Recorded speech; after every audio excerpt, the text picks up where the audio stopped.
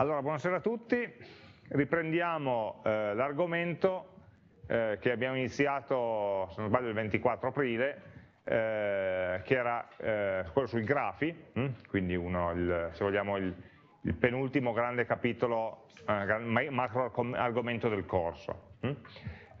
oggi vorrei iniziare eh, a vedere che cosa si possono fare con i grafi, perché la volta scorsa abbiamo cercato di capire che tipo di oggetto fossero e in qualche modo come si potessero muovere i primi passi con la libreria JGraphT che ci permetterà di gestirli. Mm? Ehm, allora, eh, vedremo nelle prossime settimane varie tipologie di algoritmi che si possono applicare su questo nuovo tipo di datografi, dai più semplici via via a quelli un pochino più complicati. Algoritmi che alcune volte dovremo implementarci noi, altre volte invece faremo uso, no, ci appoggeremo sulla libreria JGraphT perché guarda caso sono già implementati sopra. Eh, ci accorgeremo che in molti casi gli algoritmi che devono lavorare sui grafi saranno di tipo ricorsivo, quindi le cose che abbiamo, sulla, che abbiamo fatto sulla ricorsione, oltre a servirci in generale per risolvere, per affrontare i problemi di ottimizzazione o di ricerca, eh, servono anche per capire no, il funzionamento eh, di alcuni degli algoritmi no, che, con cui avremo a che fare sui grafi. Allora, la prima operazione che faremo sui grafi, la più semplice, oltre alla creazione, è quella della visita, no? quindi partire da un vertice e trovare quelli vicini, che è un po' l'argomento di oggi, ma io vorrei prendere un po' la larga, poi se non finisco oggi l'argomento delle visite lo continuiamo lunedì, non, non si fa male a nessuno, ehm, eh, prendendo cercando di costruire insieme un esempio su cui poi costruire la visita magari negli ultimi minuti della lezione, eh, un esempio di un grafo un pochino più grande, un pochino più complesso no, di quelli che abbiamo visto come esempio, no? così, diciamo così, ci fa facciamo anche un pochino di allenamento ehm, e cerchiamo di capire un po' meglio come costruire questi grafi. Allora io un esempio di un grafo su cui vorrei lavorare oggi, è un dataset, no, un database, eh, quindi costruiremo un grafo a partire da un database esistente, e il database lo trovate qua, nel materiale del corso, tra materiale ho aggiunto ieri tra i vari dataset esistenti, ne ho aggiunto uno qua in fondo che ho chiamato country borders cioè confini tra stati. Questo database, da cui trovate solite SQL da scaricare e importare, è, stato, è tratto da questo sito che avevo trovato in giro, eh, che dici che c'entra niente, eh, ma essenzialmente è un sito che registra i vari conflitti che ci sono stati. C'è una serie di volontari che sono messi lì a registrare varie guerre, conflitti, dispute sui confini, eccetera, eccetera, che ci sono stati tra i vari stati nell'arco dei secoli. Ma di questo sito non interessava. C'è una sezione dataset che contiene varie cose, eh, tra cui un elenco di città, che è qua, e un elenco di, più avanti di con, relazioni di contiguità tra stati. Adesso noi, io il lavoro che avevo fatto a suo tempo era di andarmi a scaricare i file originali da questo sito che erano in formato CSV, convertirli in SQL, metterli in tabelle, creare gli indici e quindi vi do già no, un database già addomesticato già in SQL. Però per capire la fonte dei dati, no, l'ho presa da qua, e questi signori ah, eh, forniscono tra le varie cose, molte cose hanno a che fare appunto col, col problema di guerra, alleanze, conflitti, eccetera, eccetera, eh, questo um, dataset sulla contiguità parla, registra, leggo qua, le, eh, i confini, dove è andato? Eh, conf, eh, registra i confini via terra e via mare di tutti gli stati a partire dal congresso di Vienna, quindi copre il periodo che va dal 1816 al 2016, che è l'anno in cui è stato aggiornato per l'ultima volta questo dataset. Mm? Eh, quindi questo qua è parlando di grafo noi eh, ci immaginiamo facilmente un grafo di tipo geografico, no? in cui adesso il, il, dataset originario era fatto in questo modo, ma eh, non ci interessa andare a vedere i dati originari se non tra un secondo, quando dovremo capire un, un, un, eh, una variabile. Ma ci stiamo immaginando, io mi sto immaginando un grafo in cui i vertici siano tutte le nazioni del mondo, e gli archi tra due vertici indichino se quei due stati sono confinanti oppure no. Mm? Quindi costruiamo un grafo che abbia anche un significato vero, no? che corrisponda essenzialmente alla cartina geografica mondiale, aggiornata al 2016. E in questo database, countries, ci sono due tabelle, non guardate questa che si chiama 2006, è stata creata appositamente per un tema d'esame, ma noi non la, non la consideriamo. Ci sono due tabelle principali, una si chiama country e l'altra contiguity. La tabella country è la più semplice, contiene l'elenco di nazioni. Sono 218 nazioni, comprese quelle che esistono oggi, ma anche quelle che sono esistite in passato, visto che questo dataset copre dal 1800 in avanti. Eh? Quindi stati come da qualche parte c'è la Jugoslavia, che oggi, no, sì, forse esiste ancora, ehm, e quindi bisogna fare attenzione, no? eh, non è questo l'elenco completo delle nazioni esistenti oggi, hm? è l'elenco di tutte le nazioni che sono esistite e sono state trattate in questo database. L'altra tabella, che è quella che ci interessa, ah scusate, e le nazioni sono rappresentate, oltre che da un nome, la cui colonna si chiama state name, hm? hanno voluto risparmiare una A, non chiedetemi perché, anziché state name, un country code che è un numerico e uno state abbreviation che sono un codice di tre, tre lettere no, che identifica lo stato. Poi c'è la tabella vera e propria contiguity che, vediamo se riusciamo a allargarla un pochino, ehm, è di questo tipo. Stato 1 numero, stato 1 abbreviazione, stato 2 numero, stato 2 abbreviazione.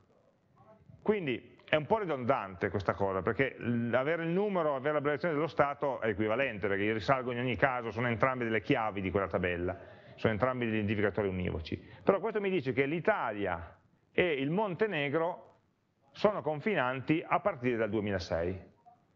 Poi dice non è vero, aspetta un attimo. Così come l'Albania e il Montenegro sono confinanti a partire dal 2006. 2006 probabilmente l'anno in cui il Montenegro è stato creato come nazione indipendente. Hm? Croazia e Montenegro dal 2006 eccetera eccetera. Quindi le, la, le colonne 2 e 3 e le colonne 3 e 4 insieme creano una coppia di stati no? che eh, sono confinanti. Sono confinanti in che senso? Perché la definizione di confinante è un po' arbitraria. Tu dici no, come non è arbitraria? Sì che lo è.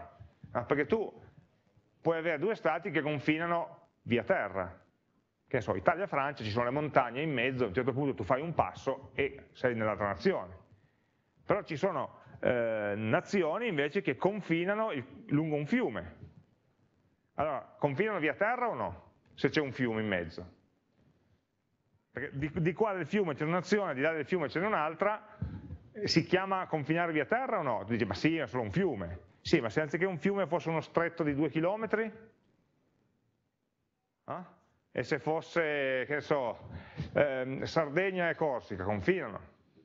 Allora, sono definizioni diverse, no? Dipende che cosa intendiamo. E infatti in questa tabella si tiene conto proprio di questo fatto con una colonna che si chiama cont type, qui vogliamo sempre risparmiare caratteri, sta per contiguity type.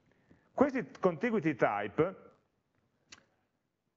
ve lo faccio vedere al volo, andando a prendere i file originari sono qua, no, pardon, c'è ovviamente un documento che ti spiega no, più in dettaglio il significato delle colonne che io vi ho riassunto così in tre minuti, ma in particolare ci interessa la tabella contiguity type che dice che se il tipo di contiguità è 1, consideriamo che le nazioni confinano, si sono separate da terra, quindi via terra, oppure un fiume. 2 se sono separati da meno cioè al più 12 miglia di acqua. 3 sono superate tra, separati da 12 a 24 miglia di acqua, 4 da 24 a 150 miglia, che è il caso di Italia e Montenegro, hm, che avevamo visto nella tabella, dice ma come non, non confinano? Eh, in realtà confinano via mare, dove il tratto di mare è maggiore di 24 miglia e minore di 150 miglia, perché avevamo un tipo di contiguità pari a 4. E 5 separate da più di 150 ma meno di 400 miglia d'acqua, allora qua cominciamo a avere mm, anche delle, delle, cioè mezzo mediterraneo in mezzo essenzialmente, non se pensiamo agli stati nostri vicini. Quindi per parlare di stati confinanti dobbiamo innanzitutto decidere noi quale tipo di confine vogliamo considerare. Se vogliamo considerare solo il confine via terra, o al massimo separati da un fiume, considereremo solamente le righe della tabella contiguity che avranno contiguity type uguale 1. Se invece vogliamo considerare altri tipi di confine, so, se dovessi pianificare un viaggio probabilmente mi interessano anche i confini 2 e 3 perché ci sarà probabilmente un traghetto, un, via, un modo di spostarsi via mare se invece il viaggio lo faccio, voglio farlo via terra, in auto, allora non mi, deve, non mi interessa. Mm? Quindi sta a noi decidere, la tabella ci, ci fornisce tutte le informazioni solo, non solo sui confini diretti via terra, ma anche sui confini ehm, un, un, pochino più diciamo, indiretti, no? separati da bracci d'acqua, da, da, rami d'acqua e bracci di mare, eh, mh, mm, più, di ampiezza più o meno diversa. Mm? Ricordiamoci che il punto di partenza di questo database non era di tipo geografico ma di tipo storico sui conflitti, le guerre eccetera, quindi questi molto spesso avvenivano anche via mare, quindi per loro era importante catturare questo tipo di, infatti lo chiamano contiguità, non necessariamente confine. Ok, ma noi ci soffermiamo sulla parte facile, sui confini. Eh, quindi abbiamo visto le colonne che ci interessano, eh, ovviamente se andiamo a prendere la versione eh, odierna no, dei confini, ecco qui un, questo database ha, ha, un errore, nel senso che c'è un'informazione mancante. Eh, mi dà l'anno di inizio della relazione di confino ma non mi dà l'anno di, di, fine. Quindi eh, so che questi stati, l'Azerbaijan e il Turkmenistan, immagino, dalla sigla, sono confinanti dal 1991 ma se nel frattempo qualcuno di questi stati fosse scomparso, non questi due, mi sa che esistono ancora, ma eh, se dalla coppia di uno di questi stati uno dei due fosse scomparso, si fosse fuso con un altro, si fosse scisso, non c'è la data che mi dice guarda che questa relazione di contiguità non è, non è più valida da quell'anno in poi, perché quello stato non esiste più, mm? è un dato che non c'è. Mm? Quindi noi adesso, quando costruiremo il grafo, ci accorgeremo che ci sono dei confini con degli stati eh, che non esistono più, eh, ma non sappiamo come cancellare perché nel database manca questa informazione. Hm? Quindi è un'approssimazione che abbiamo, purtroppo si sono dimenticati di inserire un dato. Ok, questo è eh, per presentare il database. Su questo ci costruiamo un grafo. Hm? E poi una volta che abbiamo il grafo cominciamo a chiederci, ma se io parto in bicicletta dall'Italia dove posso arrivare, ad esempio, no? O, o cose di questo genere. Ecco, l'ultima colonna che forse non so per citarla, è la prima, diade, eh, non è altro che un numero, una codifica un po' stramba, che non è molto relazionale in senso di SQL, è un numero intero che altro non è che la concatenazione del numero dello stato 1 dal numero dello stato 2 prendendo il secondo moltiplicato per 1000, cioè 348 più 344.000 fa 344.348, questo è un numero intero se lo leggo col puntino al posto del 1000 mi sembra che sia effettivamente la concatenazione dei numeri dei due stati. È semplicemente un identificativo univoco. Non, dica, non dice nulla di più rispetto alla coppia stato 1, stato 2, anzi stato 1, stato 2 è un pochino più esplicito. Um, Un'altra cosa che magari è utile vedere da questo database, prima di costruire il grafo, è se queste relazioni sono da intendere orientate o non orientate. Cioè, se c'è scritto che Italia confina con Montenegro, è sottinteso anche che Montenegro confina con l'Italia, e quindi questo è un arco non orientato, una relazione non orientata, perché da sola diciamo, copre le due direzioni, oppure mi aspetto che nel database più avanti ci sarà una riga in cui Montenegro confina con l'Italia? Eh, non lo so, però posso andarlo a vedere. Ad esempio, eh, metto un filtro su state 1 hub uguale mtg e infatti vedo che più avanti c'è scritto anche Montenegro confina con l'Italia. Quindi aspettiamoci nel database che ci sia ogni volta che abbiamo una relazione di, di confine, che ci sia questa, ma più avanti o dietro, insomma, ci sia anche quella simmetrica. Quindi quando costruiamo il grafo semplicemente dobbiamo saperlo. Hm? Ok, questo è un po' il punto di partenza. Quindi il nostro primo compito è costruiamo un grafo che rappresenti queste relazioni di confine, limitandoci alla contiguità di tipo 1, quindi confini via terra. Allora, per farlo ci dobbiamo creare un primo progetto. Mm? creiamolo già come progetto JavaFX così poi ci aggiungeremo l'interfaccia per ricercare gli stati e cose del genere. Quindi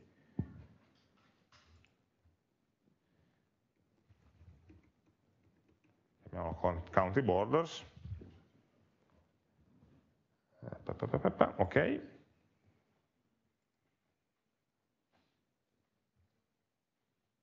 ok.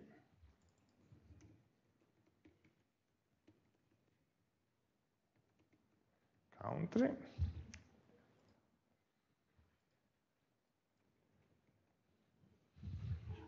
E country controller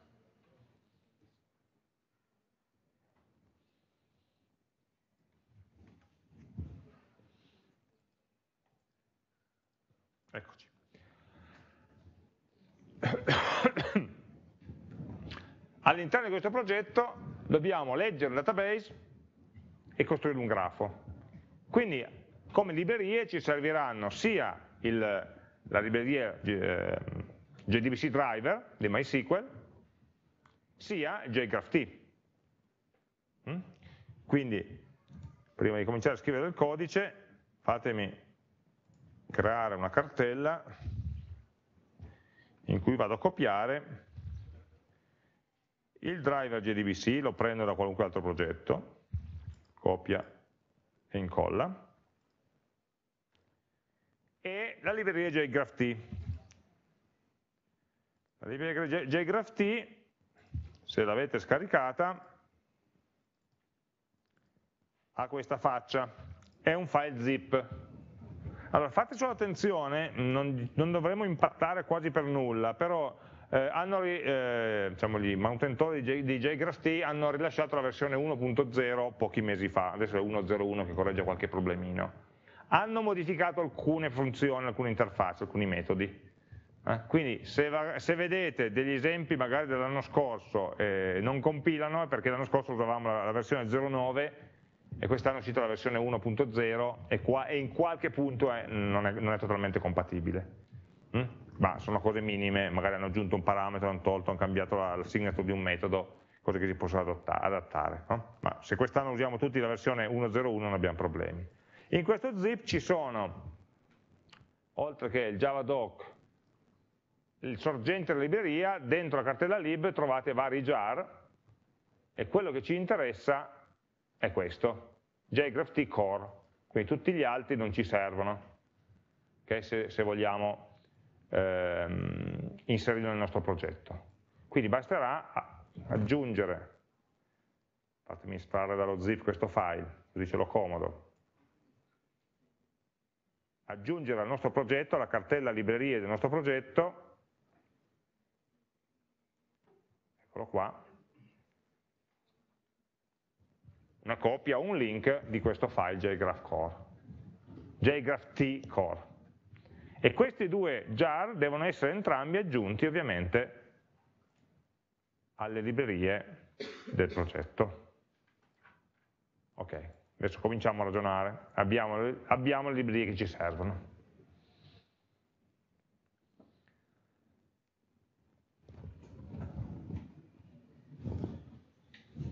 Mm? Quindi noi avremo un nostro all'interno della nostra applicazione avremo un nostro modello, il quale model dovrà creare il grafo. Quindi ci creiamo un nostro package.model all'interno del quale metteremo la classe modello che internamente gestisce il grafo, sappiamo che tutti i dati importanti dell'applicazione sono no, di proprietà e di responsabilità del modello, e ci saranno probabilmente altri oggetti che rappresentano la singola country la singola relazione di contiguità, hm? gli oggetti semplici no? in cui memorizzare i dati. Quindi noi qua creeremo una classe model, fammela scrivere giusta, e almeno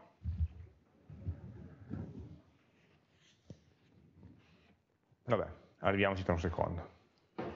Allora, questa classe model, parto, parto in modo bottom up, non so ancora cosa fare l'applicazione, io so solo che mi sono dato un compito, proviamo a leggere queste, questo database, queste relazioni di confine all'interno di un grafo. Quindi dentro modello avrò, dovrò avere sicuramente un oggetto di tipo grafo. La libreria JGraphT però avete visto che ci permette di definire tanti tipi di grafi diversi. Ok? Allora io qua avevo preparato queste 3-4 slide per, come guida da usare ogni volta che devo creare un grafo per capire quali delle classi della libreria JGraphT è più adatta, rispondendo a tre semplici domande, poi andando per esclusione. No? Queste sono tutte le classi supportate che ovviamente sono tutte figlie di un'interfaccia astratta graph e io istanzierò una di queste eh, sottoclassi. Quale? Allora, la prima domanda è, il grafo che serve a me adesso, in questo programma, è un grafo orientato o non orientato? È un grafo, secondo me, non orientato. Perché la relazione di confine, per come la definiamo, confine via terra, ma anche via mare, è per sua natura simmetrica. Quindi non, ha, non è concepibile che A sia confinante con B e B non sia confinante con A. Quindi è un grafo non orientato, il che vuol dire che dobbiamo guardare solamente da adesso in avanti la parte sinistra della figura. Quindi mentalmente cancellate la parte destra. Adesso nella parte sinistra della figura, che non abbiamo cancellato, che è ancora nella nostra attenzione, chiediamoci il grafo deve essere pesato o non pesato. Se è un grafo pesato sarò qua, ricordate che la parte destra l'abbiamo già esclusa, andiamo per, per biforcazioni successive. Se è un grafo pesato o è un grafo non pesato. Allora, quando io dico che due stati sono confinanti, o esi esiste o un valore numerico da associare a questa relazione di confine? No. no potrebbe essere, so, la lunghezza del confine o cosa, ma, eh, in chilometri, ma non ce l'abbiamo questo dato, quindi l'unica cosa che possiamo dire è se confinano o no e a monte abbiamo già scelto qual è il criterio di contiguità di tipo 1, 2, 3 o 4, 5. Dimmi. Eh, lui, lui, propone di mettere come peso eh, il contiguity type, quindi mettiamoli tutti e poi indichiamo nel peso il fatto che siano contigui con tipo 1 o con tipo 2. Allora questo è, non mi piace tanto perché è un po' un abuso del concetto di peso, perché ehm, il peso lo, lo dobbiamo leggere come una informazione in più su un arco, a proposito di un arco, a proposito di una coppia di vertici. Okay? Il valore del peso non influenza il fatto che l'arco esista oppure no, normalmente, no? per definizione.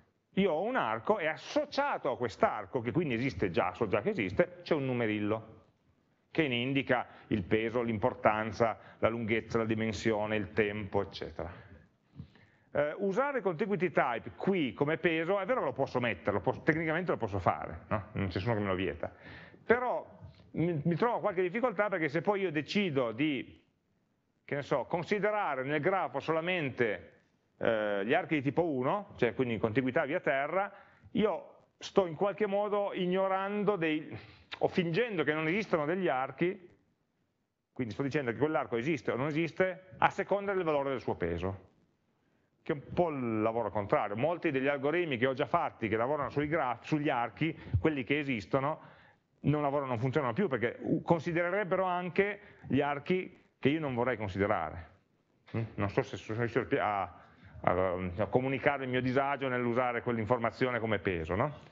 Eh? Un peso è qualcosa che differenzia, una, dato un arco esistente, dice che quest'arco è più difficile o facile da attraversare di quell'altro non che uno è giallo e l'altro verde e l'altro blu, è uno, un, è uno via terra e l'altro via mare, cioè sono di natura diversa. Mm, se volessi farlo dovrei probabilmente creare un oggetto arco di tipo più complesso, ad esempio con un'enumerazione che dice confine via terra, confine via mare, eccetera. Lo, lo catturerei questa informazione come oggetto, non come numero cacciato lì che poi va interpretato sapendolo. Ecco. Mm? Quindi in questo caso io direi non, non sono pesati questi archi e quindi le nostre classi sono rimaste solamente quelle della prima colonnina, l'ultima ovviamente no, una di queste tre. Quindi la terza domanda a cui dobbiamo rispondere è il grafo è un grafo semplice o è un grafo strambo?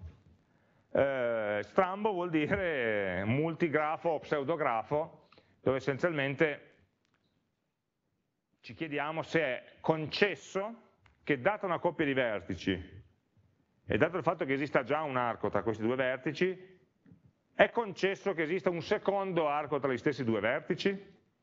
Questo sarebbe un multigrafo. Mm?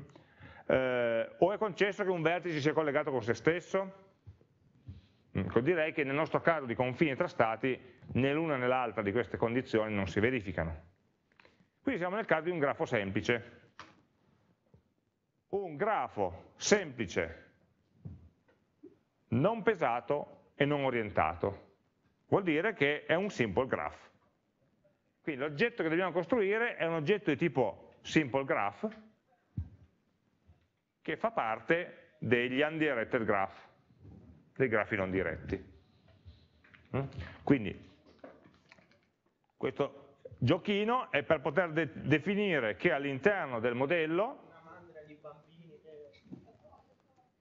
eh, avrei, scusate, una, un oggetto privato di tipo undirected graph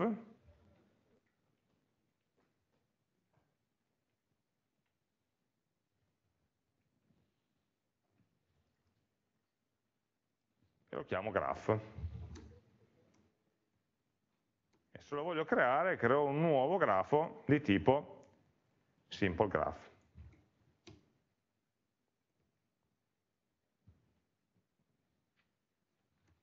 Allora, facciamoci spazio e ragioniamo sui punti interrogativi. Allora, io qua sempre definisco una variabile e cerco sempre di usare il solito metodo di definire la variabile usando un'interfaccia e ovviamente creare l'oggetto usando una classe.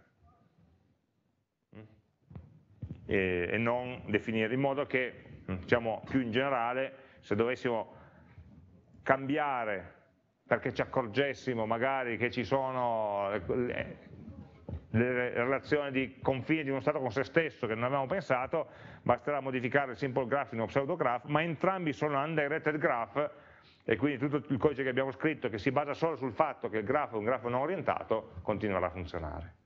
Mm? Quindi cerchiamo di fare sempre il numero di ipotesi minimo indispensabili, soprattutto nella dichiarazione delle variabili, delle interfacce, dei metodi, eccetera.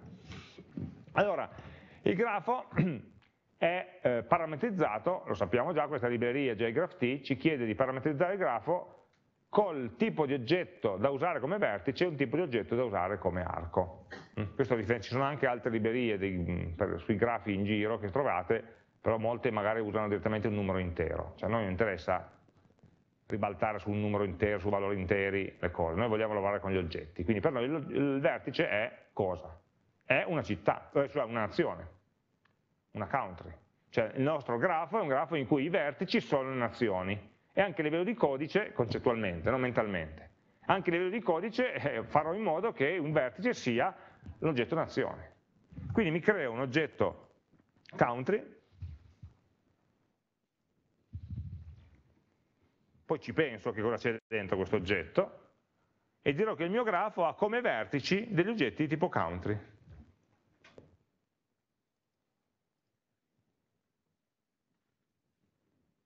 Quindi l'add vertex aggiungerà un oggetto di tipo, eh, di tipo country. Il vertex set, cioè il metodo che mi restituisce l'insieme di tutti i vertici, mi restituirà un set di country. Mm? E qual è l'oggetto che uso per rappresentare gli archi, gli edge del mio grafo? Allora, eh, un edge è una coppia, è identificato dalla coppia di vertici corrispondenti.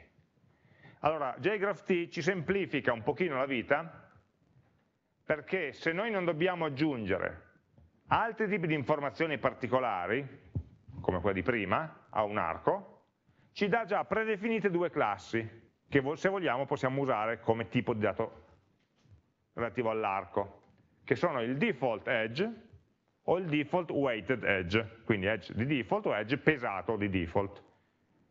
che sono ovviamente definiti come default edge sarà una coppia di, di che cosa? Del tipo di oggetto che ho usato come vertice. Mm? Ma questa parametrizzazione se la fa lui all'interno. Quindi noi non dobbiamo ogni volta dover definire un altro oggetto che, sia, che contenga una coppia di country, in questo caso, per usarlo come arco. Eh? Usiamo l'arco di default e funziona. Default edge sempre importato da jgraph mm? Quindi l'arco ha come vertice un oggetto che ho specificato io, come archi l'arco di default che sarà la coppia di country in questo caso. Questo per definirlo, per definire la variabile. Per creare l'oggetto, io però l'ho creato qua direttamente nella classe, ma poi potremmo metterlo nel costruttore ovviamente, qua era solo per ragionarci. Ho un costruttore che a questo punto devo fare new su una classe vera, non su un'interfaccia, quindi ho scelto Simple Graph, che è la classe che più da vicino rappresenta le caratteristiche del mio grafo, i parametri sono gli stessi, ma qui sono indicati sottintesi perché li può dedurre facilmente da solo Java dalla definizione della variabile, e però vuole che cosa? Vuole un parametro, il costruttore del grafo ha bisogno di un parametro che lo aiuti internamente a creare gli archi. Ehm, è una complicazione dovuta alla genericità degli archi. Quando noi creiamo, lo vedremo tra un attimo nel codice, ma l'avete già visto, quando voi create un grafo, l'oggetto corrispondente al vertice lo create voi, nel vostro codice, lo creiamo noi nel nostro codice, e poi facciamo un add vertex e gli passiamo l'oggetto già fatto. Quindi il grafo non ha bisogno di crearsi i vertici, li passiamo noi già degli oggetti fatti. Ma quando aggiungiamo un arco, l'esempio che avete fatto la settimana scorsa, grafo.addEdge, vertice 1, vertice 2, noi abbiamo passato il riferimento a due vertici. Non abbiamo passato un oggetto di tipo edge o di tipo default edge. Se l'ha dovuto creare lui.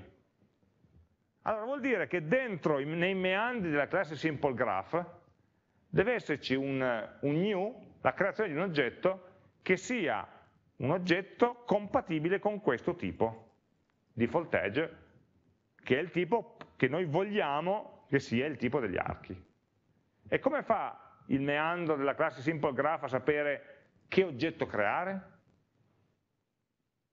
E glielo dico io dicendogli qual è default edge.class. Il riferimento punto class è meta, il meta oggetto, no? è l'oggetto che rappresenta la classe, è il riferimento alla classe stessa. E quindi lui usa questo riferimento con i metodi di reflection, che per fortuna noi in questo corso non trattiamo, eh, per creare un oggetto di, una, di un tipo parametrico. Mm? Allora, noi siamo contenti di non dovercene preoccupare, ma purtroppo nei meandri di graph eh, ci sarà questo problema da risolvere. Noi dobbiamo solo ricordarci a livello pratico che quando creiamo un nuovo grafo dobbiamo sempre passare il riferimento al tipo di classe da usare per creare gli, ar gli archi. E altro non sarà che l'attributo class dell'oggetto che ho usato, che ho definito come arco. Quindi se default edge sarà default edge.class. Se default weighted edge, come grafo, sarà default weighted edge.class. Se creo dei, degli archi miei personalizzati, cosa che posso benissimo fare se non uso quelli di default, sarà arco mio.class. Eh? Questo solamente nella costruzione dell'oggetto, hm? è un artificio necessario. Ok, quindi noi possiamo avere, adesso cominciamo a strutturare questa classe, il nostro modello che come prima operazione potrà creare hm, questo, mettiamo questa new nel costruttore, mi piace di più che non vederla sopra, semplicemente una ristrutturazione minima hm, del codice. Quindi quando io creo un modello, lui si crea già un grafo del tipo giusto, contenente 0 vertici e 0 archi, ovviamente, è nuovo. e poi al mio modello dovrò dare un metodo crea grafo, ad esempio, in cui il modello eh, deve popolare l'oggetto graph con i vertici e con gli archi opportuni. E come farà a farlo? Vabbè, gli archi è facile, perché aggiungere gli archi a un grafo significa usare il metodo add, add scusate, vertex e uno per uno aggiungere le singole country. Da dove tiro fuori queste country? Le tiro fuori facendo una query sulla tabella country del mio database.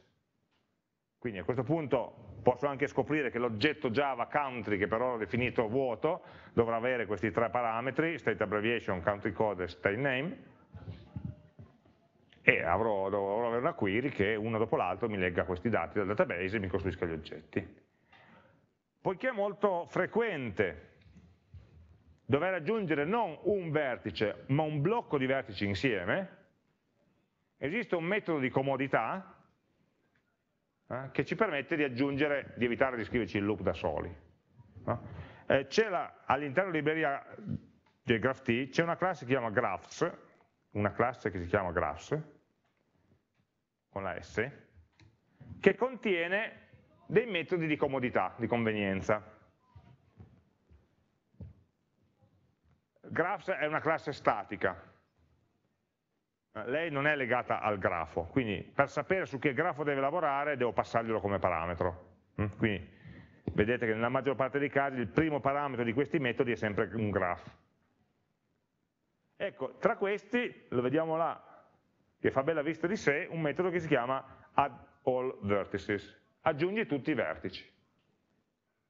Ha un grafo di che cosa? Qual è il secondo parametro? Una collection. Quindi se io ho una collection, posso in un'unica istruzione popolare il grafo con tutti i vertici di quella collection. Quindi il grafo, il primo argomento è il grafo, il secondo argomento sarà una collection dei vertici, con tutti i vertici del grafo, con tutti i vertici che sono country, e chi è che mi, dà, mi può dire quali sono tutte le country? Una lista con tutte le country? DAO.list country. Il database.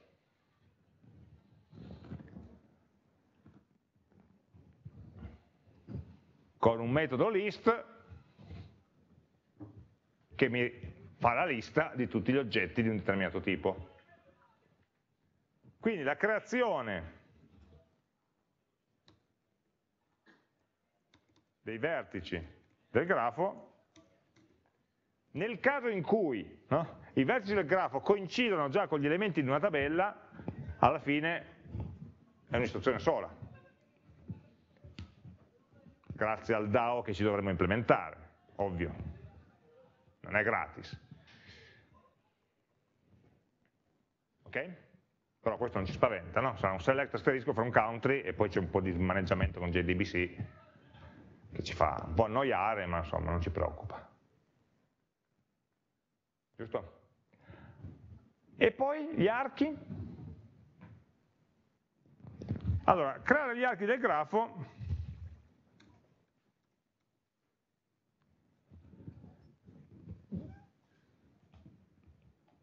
possiamo trovare tre grossi metodi. No? Ragioniamo così in generale, poi lo applichiamo al nostro, al nostro esercizio, proprio a livello di codice.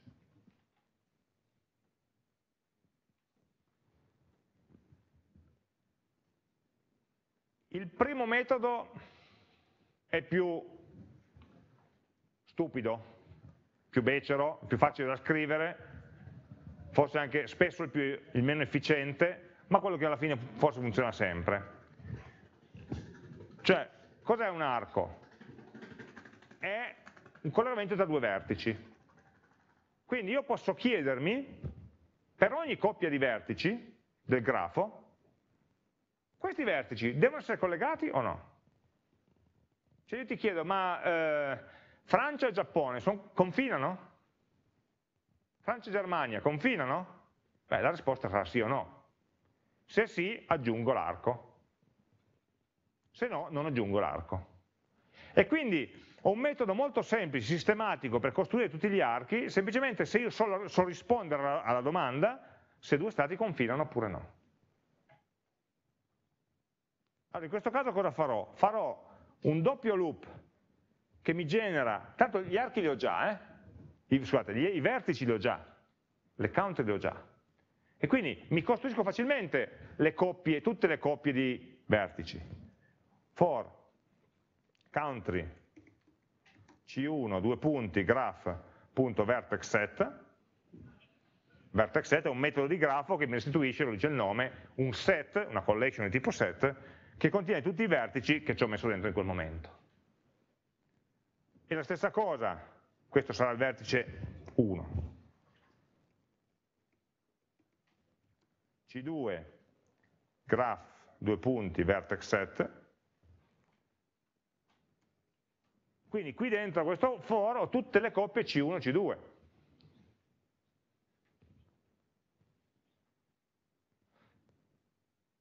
Il mio non è un multigrafo, quindi devo escludere le coppie in cui C1 e C2 sono uguali, questo doppio for me le genera tutte.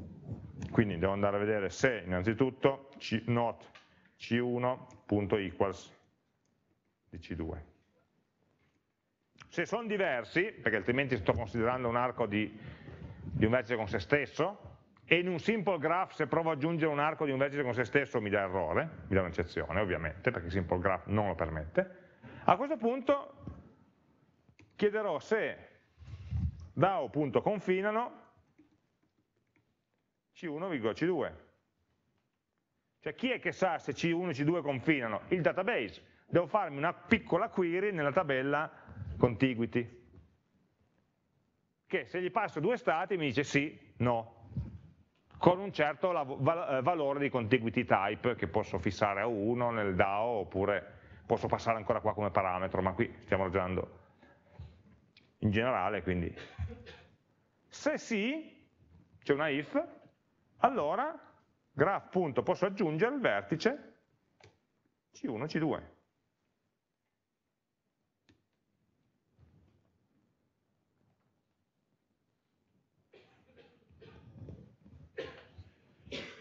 Giusto?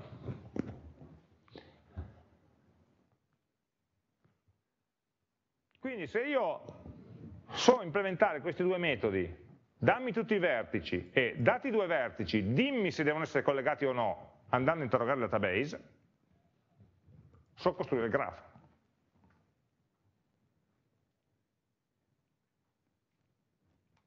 Okay? Vantaggio di questo metodo è che è molto semplice da pensare, da fare, ha molte poca, poca difficoltà nello scrivere questa query, è la cosa più semplice che posso chiedere a un database, dimmi se un dato c'è o no, in questo caso non è un dato, una relazione tra due dati, ma lo svantaggio è ovviamente che io farò n quadro di queste query. Per ogni coppia di vertici chiedo al database se devono essere collegati. Quindi ci sono altri modi in cui posso ragionare versione 1. Un altro modo, che chiamo versione 2, perché oggi la mia fantasia arriva fino lì, è quello di dire, ma se io facessi lavorare un pochino di più il database, e dato un vertice, mi facessi dare dal database già l'elenco, una lista di tutti i vertici che confinano con quello prima, con quello precedente, cioè io al database davo, adesso, davo due dati, e lui, due, due vertici, due country, e lui mi diceva confinano sì, confinano no. In questo caso. Io potrei cercare di essere un pochino più intelligente o chiedere al database di essere un pochino più intelligente dicendo ma se io ti do la Francia, tu mi sai dire quali sono gli stati confinanti con la Francia, no? Facendo una query. Tutto sommato il database lavora meglio quando lavora con insiemi di dati, con un result set di più righe, piuttosto che un dato per volta. Allora potrei sfruttare questo. Potrei pensare di, ovviamente, considerare una per volta i vertici del grafo. E per ciascuno farmi dare la lista delle città confinanti adiacenti, parliamo in termini di grafo in astratto, quindi sono vertici adiacenti a quello dato, chiedendo al DAO list adiacenti di C.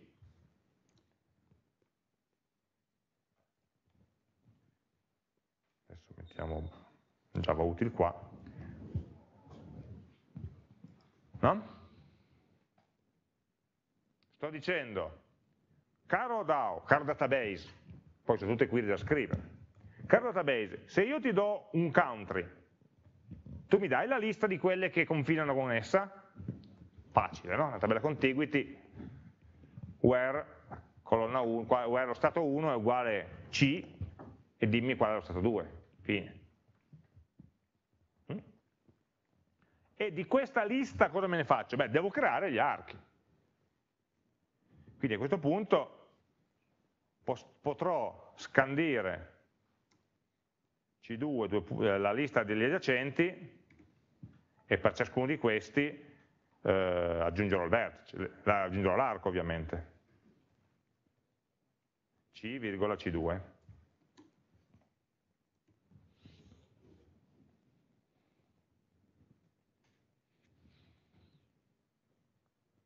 Allora, in questo caso il risultato, il risultato è lo stesso, no? Il grafo che costruisco è lo stesso.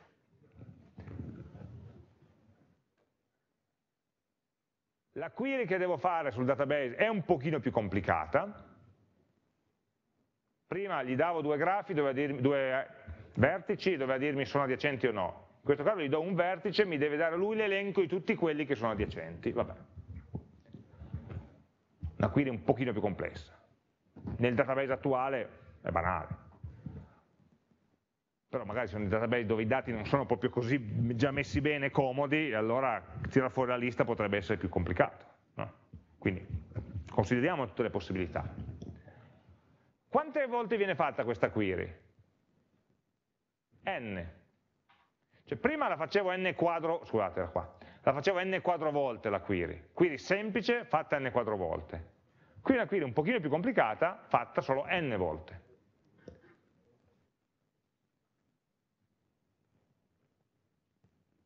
Tendenzialmente mi direi, direi che conviene, a meno che questa, il tempo di esecuzione di questa query non sia n volte più lenta, ma con n che cresce con la dimensione del problema, cioè se fosse 10 volte più lenta ma 10 fisso va bene, se questa query fosse n volte più lenta di questa, allora la, le prestazioni sarebbero circa confrontabili. Ma però vorrebbe dire che il database proprio non è, non è capace a lavorare, non, o non ha fatto gli indici giusti nelle tabelle. Perché vorrebbe dire, se lui ci mette n volte a restituirmi un, un elenco di dati rispetto a restituirmene uno, vuol dire che lui sta facendo una scansione sequenziale. Mm, quindi c'è qualcosa che non va con l'efficienza del database. Mi aspetto che se il database fa il suo lavoro, questa non sia o di n più complesso rispetto a questa, ma sia un po' meglio. Quindi complessivamente la complessità eh, sia o di n o, o di n un pezzo, dove questo è il pezzo della query, rispetto a di n quadro. E poi, attenzione, poi add edge viene sempre fatto dentro un doppio loop. Quindi uno potrebbe dirmi, sì, però l'n quadro ce l'hai qui, perché add edge viene comunque chiamato, nel caso peggiore, n quattro volte. Sì, dopodiché l'add edge probabilmente prende 20 microsecondi e la, una, la query confinanti ne prenderà probabilmente 30 millisecondi. 10 millisecondi? Ma vuol dire mille volte di più, da microsecondi a millisecondi. Quando vado fuori dal database a fare una query, già anche solo il tempo di connessione sono 20 millisecondi. Adesso poi noi scopriremo la settimana prossima come fare ad abbattere il tempo di connessione. Però stiamo parlando di decine di millisecondi. Se lavoriamo all'interno di una struttura dati, lavoriamo nell'ordine dei microsecondi, no? Ricordate gli esercizi che facevamo le prime volte con le liste, dice cacchio non riesco mai a misurare i tempi perché sono troppo veloci. Quindi,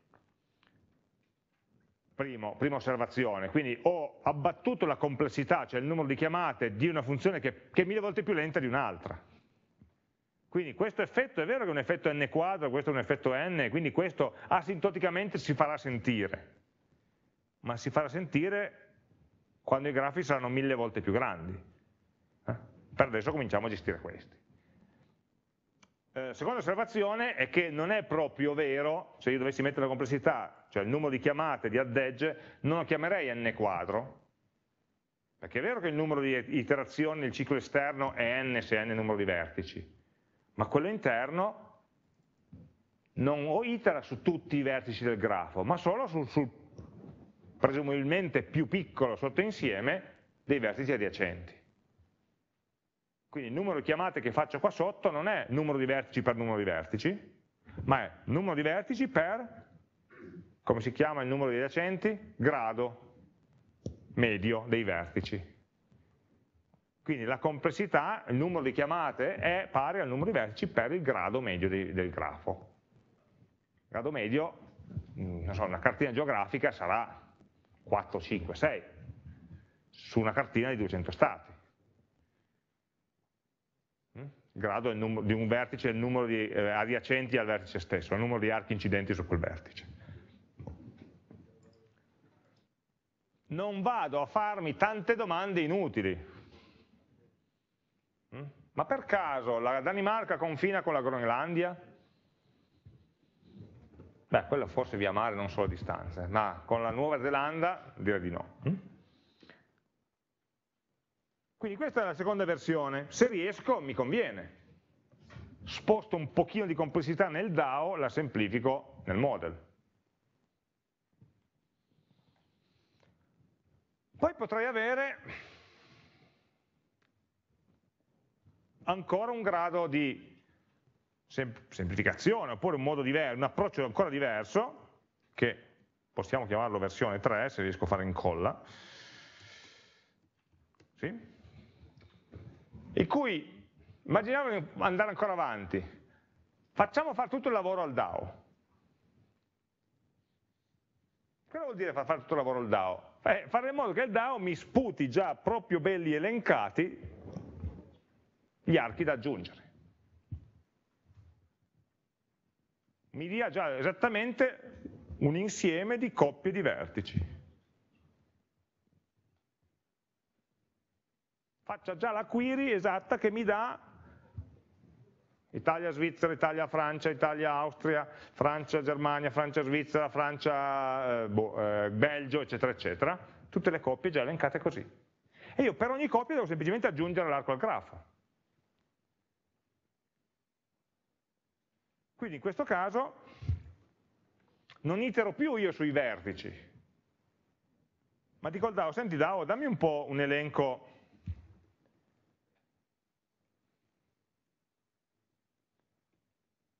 coppie di country adiacenti. E da quella lista io itero con un oggetto che a questo punto non è più un country, ma un country pair, diciamo, una coppia di, di, di, di città, cp, chiamiamola, un oggetto che mi devo costruire ovviamente, lo sto inventando per il momento, però un oggetto che contenga due città, no? visto che lui mi ha eseguito una lista, ma questa lista, in ogni elemento della lista erano messe due città, quindi mi costruirò un oggettino che contiene C1 C2. E per ogni country pair, che mi dà già il DAO, che mi dà già il database, semplicemente farò un graph, poi riesco anche a scriverlo, ad edge, cp.getc1 cp.getc2 dove C1 e C2 saranno le country 1 e le country 2 dentro questa pair, dentro questa coppia di country.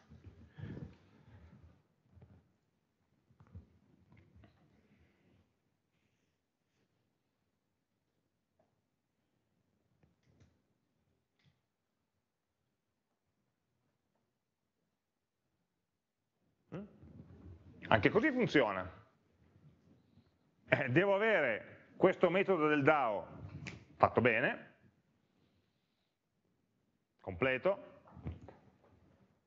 fa tutto lui, magari fa più di una query se gli serve, non so, sono fatti suoi, ma mi dà già l'elenco degli archi. E per ogni arco della coppia semplicemente devo aggiungerlo. Allora qui fa, il numero di operazioni, il numero di query che faccio è una, il numero di add edge che faccio è esattamente pari al numero di archi del grafo. È il numero minimo, in assoluto. Pertanto meno di quelle non ne posso fare di add edge. Perché mi serve una per grafo. Non ne faccio di sprecate.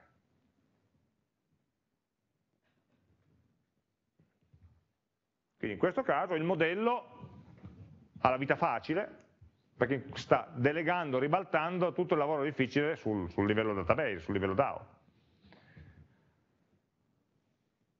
Allora, questa ovviamente è una semplificazione, nel senso che io ho fatto tre casi, poi ce ne saranno forse altri 27 se uno va a considerare altri casi particolari.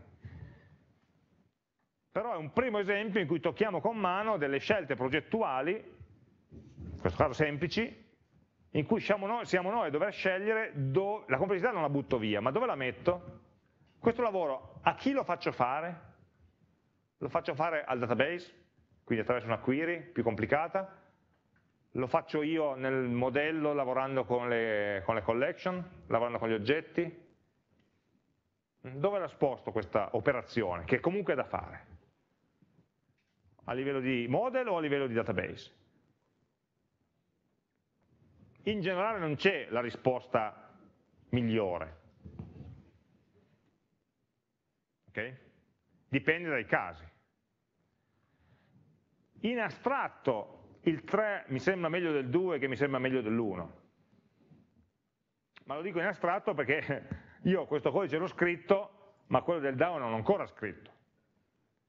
E quindi magari in questo caso specifico questo metodo lista delle coppie di count adiacenti è, è facile, perché è proprio questa, è già la tabella contiguity, mi dà già le coppie, stato 1, stato 2, ce l'ho già pronto. Ma vedremo altri casi in cui non è così facile. Fosse anche solo il grafo, non l'abbiamo ancora dato, degli anagrammi, no? che data una parola deve collegarsi a un'altra, se, un se la prima è un anagramma della seconda, non lo fai con una query sola. Una query che tiri fuori da quella tabella un join con se stesso, col, col like nelle posizioni variabili, non lo fai con una query sola. E quindi questa posizione qua, questa soluzione qua. Mm, mentre questa magari sì. Quindi di caso in caso ragioniamoci, Vediamo su quale soluzione spostarci. Cercate di non buttarvi, come sempre, a scrivere codice sulla prima che vi viene in mente. Okay? Perché poi questo può voler dire perderci tre minuti o perderci mezz'ora eh, a fare magari la creazione del grafo. Se uno prende la strada magari, non dico sbagliata, ma non tanto adatta a quel problema specifico, a quel database specifico così come è fatto, a quel grafo così come deve essere costruito. Okay?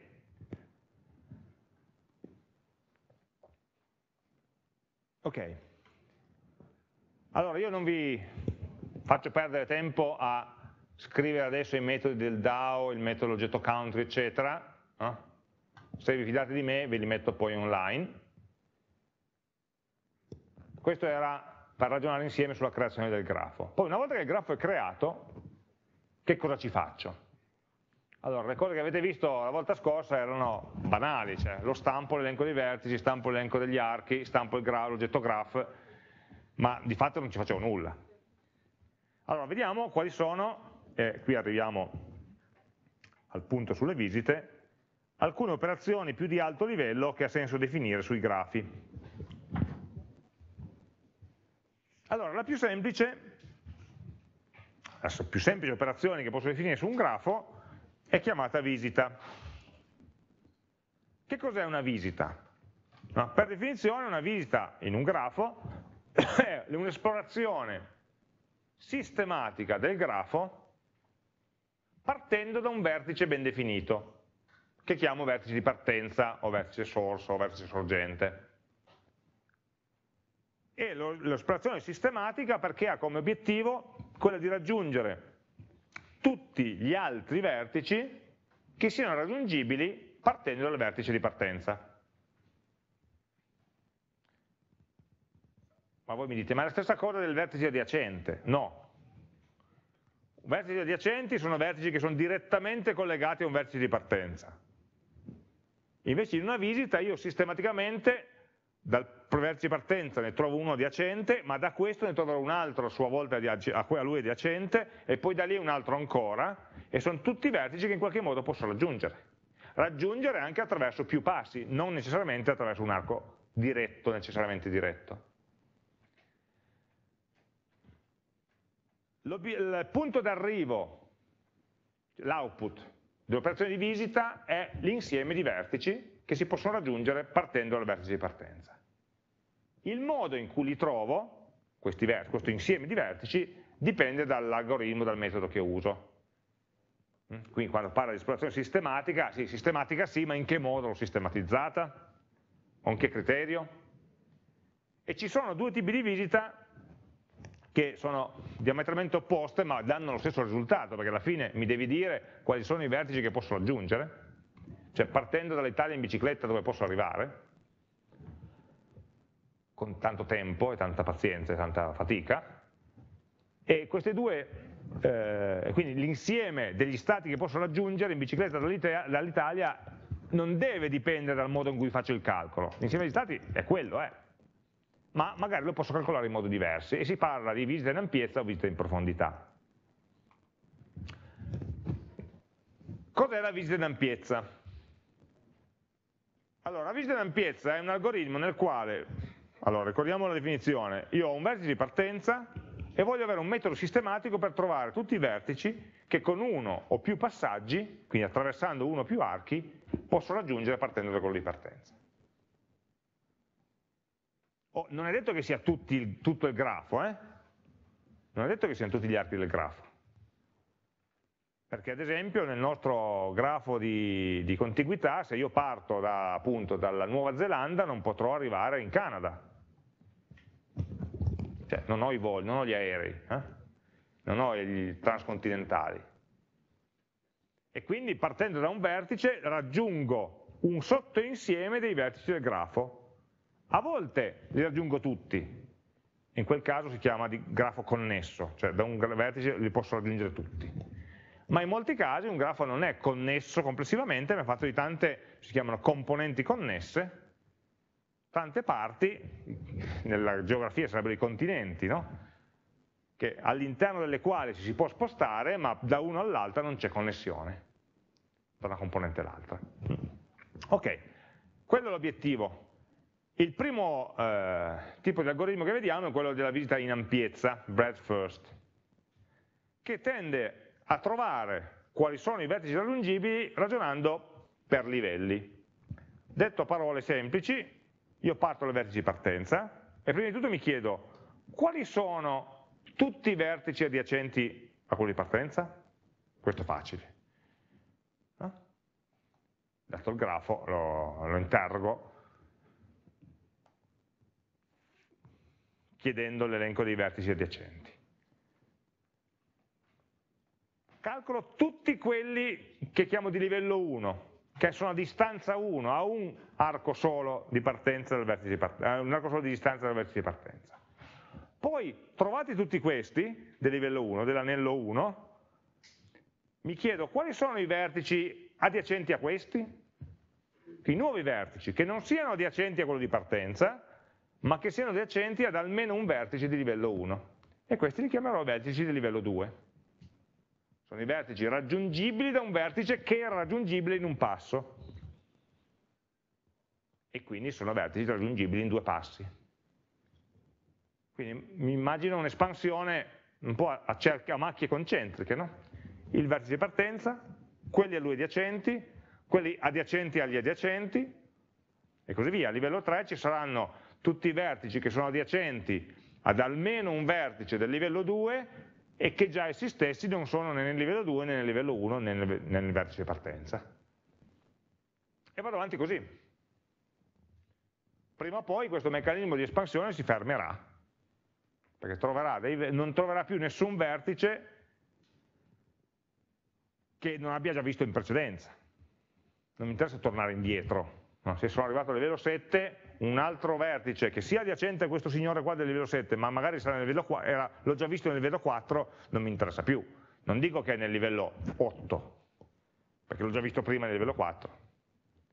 Quindi nel livello di pseudocodice io definisco un, un, una serie di insiemi, un insieme di insiemi, una lista di insiemi, più corretto, S0, S1, S2, S3, un insieme per ogni livello, Partendo dal livello 0, L è il livello, il vertice di partenza, l'insieme dei vertici del livello 0, l'insieme dei vertici che costituiscono il livello 0 è per definizione il solo vertice di partenza, quindi l'insieme contiene un elemento solo, l'insieme del livello L più 1 lo ottengo considerando i vertici di SL del livello L, del livello precedente, valutando quali sono i vertici adiacenti e che non siano ancora stati visitati. Graficamente, se questo è il grafo e questo è il vertice di partenza, il livello 0 sarà costituito dall'insieme costituito dal solo S. Il livello 1 è fatto dai vertici che sono adiacenti a S, ma sono diversi da S stesso. Adiacenti a S c'è RW. Quindi il livello 1 è costituito dai vertici RW.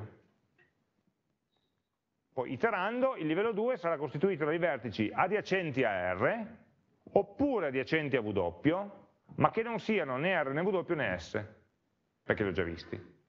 E quindi che cosa avrò? Tra le adiacenti di R troverò V, tra le adiacenti di W troverò T e anche X. Quindi livello 2 è questo, VTX.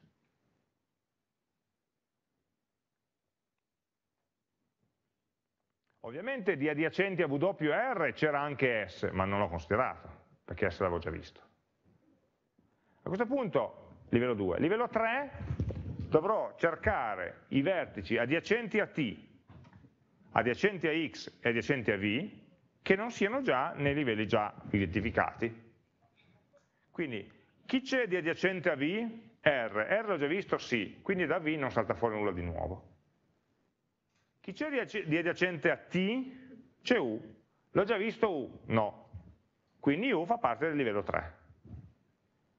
Ho altri adiacenti a t? Certo che ho, c'ho w e c'ho x, ma questi li ho già visti sono già negli insiemi dei livelli precedenti, quindi non, mi, non li considero.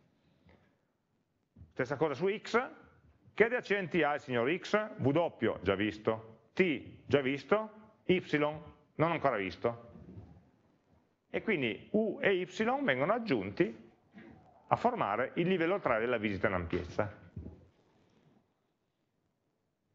Quindi una visita che procede dal centro della vertice di partenza, allargandosi in tutte le direzioni. Poi in alcune direzioni, tipo quella verso V, si è esaurita prima la visita, non c'era più niente da trovare. In altre è andata un pochino più avanti fino al livello 3. A questo punto io ripeto ancora l'algoritmo partendo dal livello 3, cercando i nodi di livello 4. I nodi di livello 4 eh, non li trovo perché gli adiacenti di U sono T e Y, che sono entrambi già visti, gli agenti di y sono u e x, che sono entrambi già visti, quindi non ho nulla da aggiungere al livello 4. A livello 4 l'insieme è vuoto e la visita termina. Il risultato della visita qual è? È che l'insieme dei nodi raggiungibili da S è tutto il grafo. sono S, R, W, V, T, X, U e Y, elencati nell'ordine in cui li ho scoperti. Ma il risultato è un insieme, quindi non c'entra l'ordine, l'importante è quali sono i vertici che ho trovato.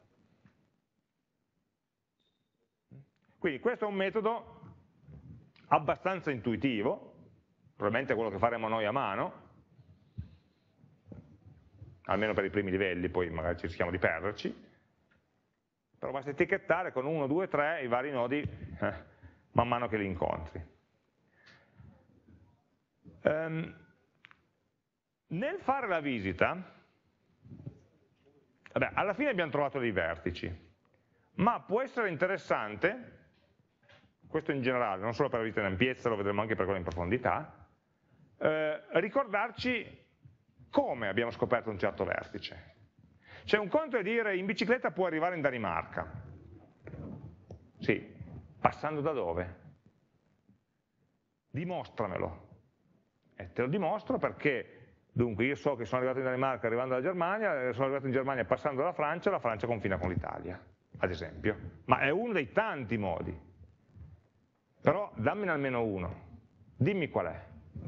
Allora, quando io ti dico questo vertice è raggiungibile, per dimostrarmelo tu devi essere in grado di dire sì, perché l'ho raggiunto a partire da quest'altro vertice, che a sua volta è raggiungibile.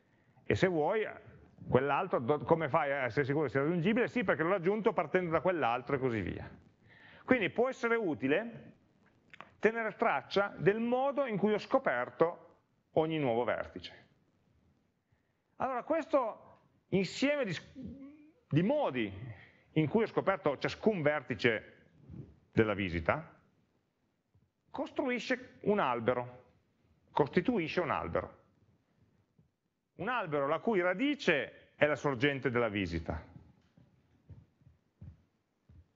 Okay? E le cui foglie, vabbè, sono i nodi di livello più alto. Ogni nodo questo sarebbe l'albero corrispondente alla visita precedente, che abbiamo visto prima, la visita in ampiezza che abbiamo visto prima. A livello 0 c'è S, a livello 1 c'erano R e W, R l'ho scoperto da S, cioè ho visitato R partendo da S, ho visitato W partendo da S. Quindi questi qua in rosso, evidenziati in rosso, sono gli archi dell'albero di visita. X l'ho raggiunto da W, y l'ho raggiunto da x, y avrei anche potuto raggiungerlo da u passando da t, sarebbe stato legittimo? Sì, ma io nel mio algoritmo l'ho raggiunto da x. Allora, se considero solamente gli archi che ho usato per scoprire nuovi nodi, per aggiungere nuovi nodi ai livelli alla visita, quello che ottengo è un albero. Sapete che l'albero è il grafo di confine tra i grafi disconnessi e i grafi ciclici. Lo useremo questa proprietà più avanti. Cioè se io, dato un albero, in questo caso ho scelto S come radice, togliete un qualunque arco, il grafo si spezza in due, si separa. Quindi non posso togliere un arco senza staccare il grafo in due metà, se ho un albero. E se provate ad aggiungere un arco si crea un ciclo. Mm? E nel grafo iniziale c'erano dei cicli, WTX, WTU, YX, W, era possibile girare in tondo. Eh, però se io voglio fare la visita, il mio giro in bicicletta non ha senso girare in tondo, io voglio avere dei percorsi che non si ripetano, che non tornino indietro. Mm? Quindi il modo più semplice per riassumere il risultato di una visita è anche quello di fornire l'albero della visita, che mi dà tutte le informazioni su quali vertici ho raggiunto e come li ho raggiunti. E quindi da lì è possibile addirittura ricostruire dei percorsi.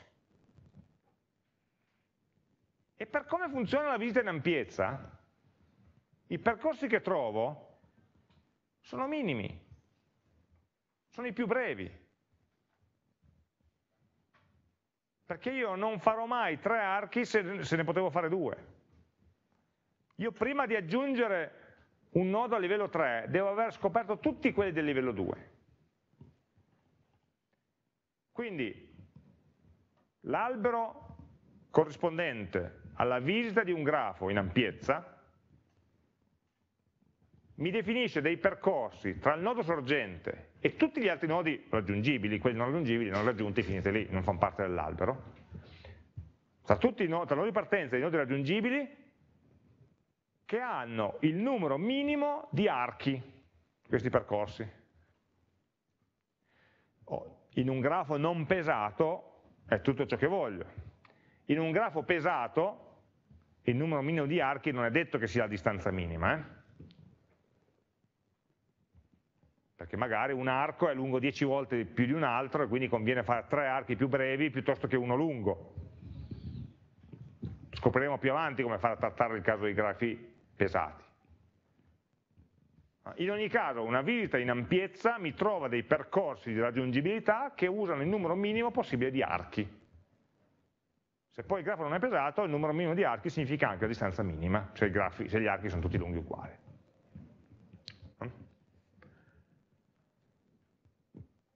Eh, vabbè, sulla base di questo, volendo potremmo implementarci questo algoritmo, si lavora con dei set, si fa somma, intersezione di insiemi, eccetera, eccetera, ma non ne abbiamo bisogno, no? perché JGraphT, vedremo la volta prossima, ha già i metodi per farlo. Eh, un altro tipo di visita, dicevo diametralmente opposta,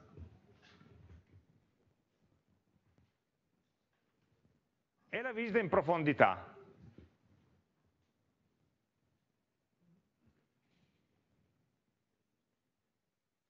Scusatemi, cambio ordine delle operazioni. Visita in profondità vediamo dopo, vediamo, vi faccio vedere subito secondo me frutta meglio, fruttano meglio questi 5 minuti che ci rimangono, i metodi nella libreria JGraphT per fare la visita in ampiezza. No, così non vi lascio il dubbio. Eh, in JGraphT, poi la volta prossima parleremo della vita in, in profondità, ma così lo facciamo con più tempo a disposizione. Quindi, quella è la visita in ampiezza che abbiamo detto, se vuoi te lo implementi con i set facendo un ciclo, iterando un'iterazione per ogni livello. Oppure dentro JGraphT esistono, esiste un package che è jgrapht.traverse, che contiene delle classi, allora eh, la libreria JGraphT anziché chiamarle visite le chiama attraversamenti del grafo, è la stessa cosa, eh? sono due nomi diversi per la stessa cosa. E il concetto di visita lui lo implementa attraverso il costrutto, il pattern dell'iteratore. Quello un iteratore è una classe che ha un metodo next. No? ha un metodo asNext che ti dice se c'è un elemento successivo e un metodo next che ti dice qual è l'elemento successivo. Allora, creare una visita significa istanziare una classe di tipo GraphIterator. GraphIterator è un'interfaccia, quindi tutte le visite, tutti gli attraversamenti sono classi che eh, implementano l'interfaccia GraphIterator.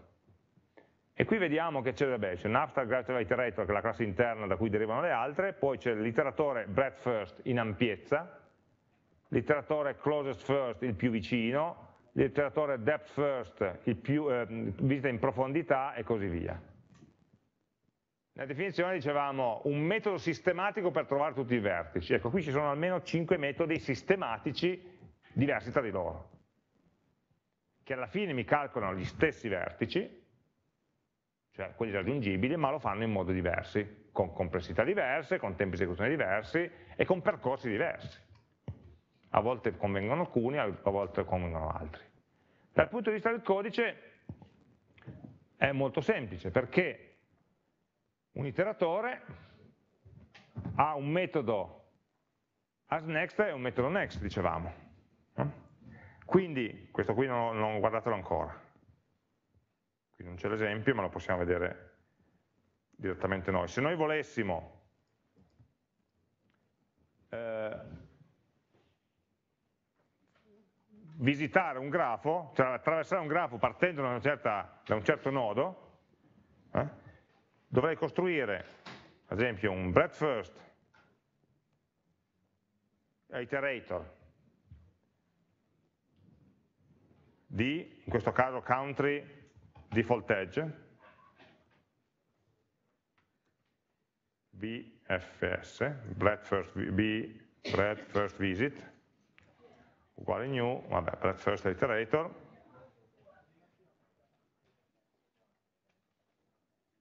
che lavora sul mio grafo.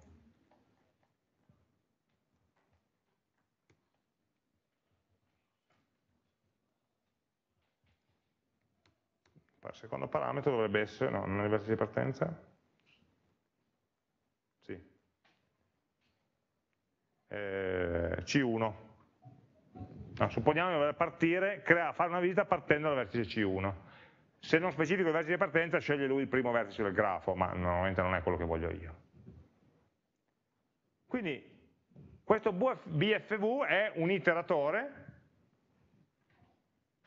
che a questo punto ogni volta che chiamo il metodo next di questo iteratore mi darà un vertice nuovo del percorso di visita. Quindi semplicemente dovrò fare un while bfv breadth first visit as next. Farò, non so, facciamo finta di stamparlo.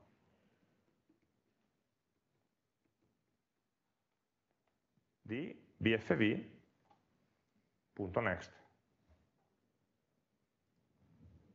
Beh, anziché stamparlo magari lo metto in una lista, lo metto dentro un set, lo faccio add in una, in una collection, così me li ricordo. Mm? Meglio sarebbe appunto fare visited.add di bfv.next. Il metodo next mi restituisce un oggetto di tipo vertice, in questo caso un oggetto di tipo country, ogni volta che chiamo next mi restituisce un oggetto tipo country, un nuovo vertice, finché ce n'è. Poi, quando non ne trova più, as next diventa falso, io esco dal ciclo while e ho l'elenco dei vertici. Quindi in questo caso mi genererebbe, sul grafo dell'esempio delle slide, mi genererebbe esattamente i vertici che abbiamo visto nell'ordine in, in, in cui li abbiamo visti salvo per il fatto che magari all'interno dello stesso livello io li potrei mettere in ordine diverso, perché noi li abbiamo messi in ordine più o meno alfabetico, ma non, dipende dalla funzione di hash lì dentro che cosa gli dà. Quindi, quando avete un vertice e volete trovare tutti i vertici raggiungibili da quello, semplicemente questo è il codice da usare, di base, no? con cui lavorare. Ti dà o ti permette di costruire l'insieme o la lista dei vertici raggiungibili. Non ti dà questo l'albero di visita. Se, ci, se vi interessa l'albero di visita, lo facciamo insieme la volta prossima, ma sappiate che i suggerimenti sono qua, su questa slide, che dice che l'iteratore stesso, mentre itera, genera degli eventi il ragionamento ormai è lo stesso che facevamo anche con JavaFX. Faccio delle cose che generano eventi. Ecco, gli eventi che un iteratore genera sono eventi di attraversamento di un arco, attraversamento di un vertice, eccetera, eccetera. Quindi io posso andare a registrare dei gestori, dei listener, degli handler, degli eventi della visita e quindi quando lui trova un vertice nuovo mi faccio chiamare un mio metodo, che è lì in ascolto di quell'evento, che si registra qualche informazione. Hm? Quindi per chi è curioso può cominciare a, a pensarci. Hm? la volta prossima vedremo la vita in profondità, diciamo dal punto di vista teorico, perché dal punto di vista del codice non cambia niente se non mettere depth come profondità al posto di breadth come ampiezza. Fine. Dal punto di vista del programma che deve usare la libreria JGraphT. Mm? Quindi i vari tipi di visite sono, funzionano tutte nello stesso modo e l'algoritmo interno è schermato a noi che dobbiamo usarlo. Va bene? Buona serata allora.